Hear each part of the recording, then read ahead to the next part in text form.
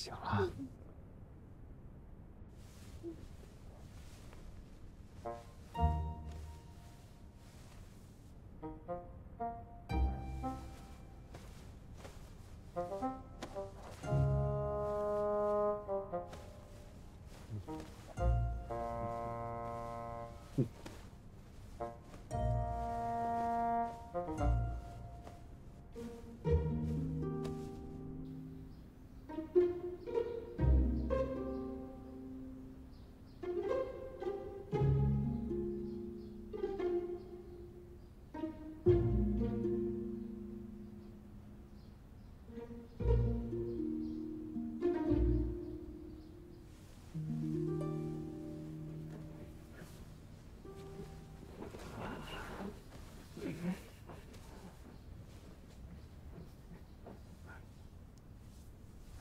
你怎么睡这儿了？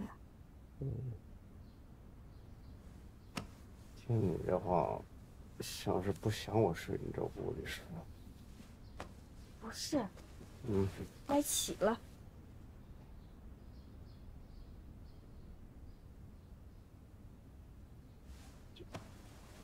这天还没亮呢，再睡一会儿吧。嗯。嗯。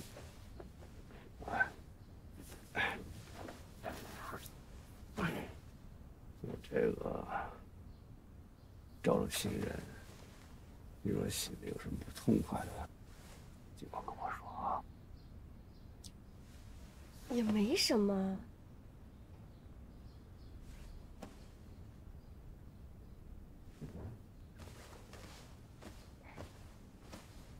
我刚入府里的时候，一来是不知道你的难处，二来也是没能通晓家里上下的情况，怕杂人多不好摆布。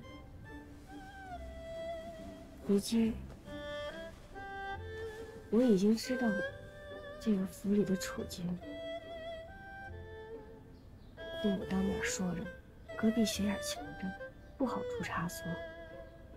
横竖我知道侯爷只疼我的，就让我掌管家，这凤仙自然得盯得住我。等以后局面好了，再把他打发我怎么觉得你一点都没吃醋？不吃醋呀，不吃醋难道不好吗？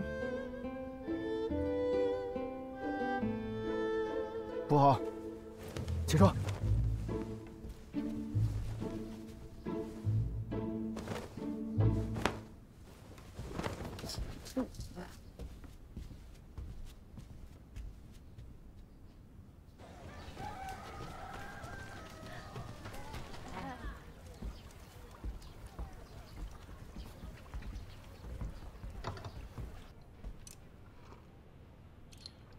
刚才园子的监管来说了，再有个十天半个月吧，园子也就完工了。我算了算，也是拖了两个多月了。再这么拖下去，只怕旁人会说闲话。我想着，等到院子完工那日，就开府设宴，也就得了。你是当家大娘子，你说什么就什么。那日可是大宴，往来的亲朋高眷都会来，侯爷你可要留着空在家待客才好。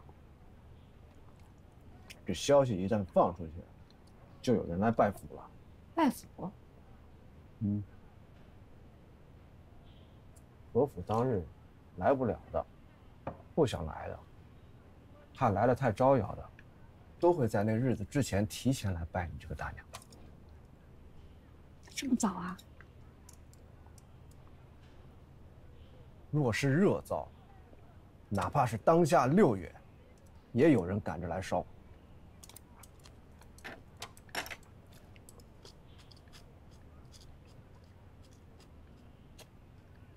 侯爷果然高明，只怕，只怕这火烧太旺了。会把灶给塌毁了。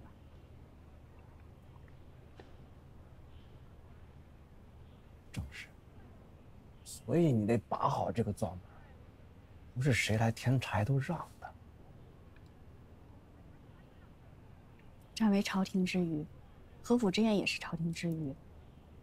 那侯爷，可要多加当心才是。如今，咱俩是在一个灶上。那咱们一起当心。何府大宴你说了算，隔壁院里几个你可得当心啊。嗯，我知道。我从小父母不慈啊，这你也是知道的。嗯。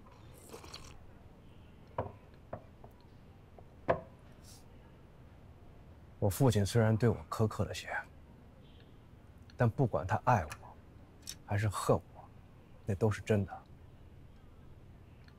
不像我那继母挂了张画皮。可为什么，我对我继母远不如我对我父亲这么暴力？你知道为什么？因为继婆母是外人。没错，我继母是我父亲许仙来的。他有了自己的孩子以后，把我当成眼中钉，牵扯到他们的前程，就希望我死得快一点。他这么可恨，但我却知道他是一个外人，所以我心里就没这么疼。可老侯爷是你的亲生父亲啊！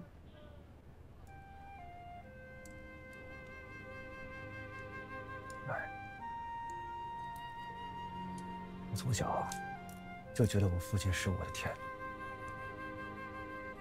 他如天神一般，我敬他，爱他。不管他怎么对我，我对他总有一丝指望。我觉得总有一日他会明白我。理解我，可是到了最后，我的希望彻底破灭的时候，我才觉得这么的痛。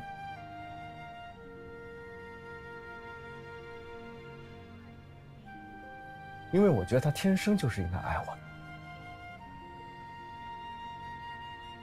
嗯，我明白。你不明白。你是我娘子，明白。我自然待你，也是以地看天，以心看月。我，我敬你，爱你的。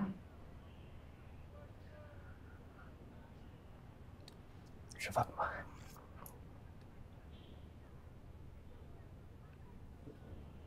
我说错了吗？你还没开窍呢。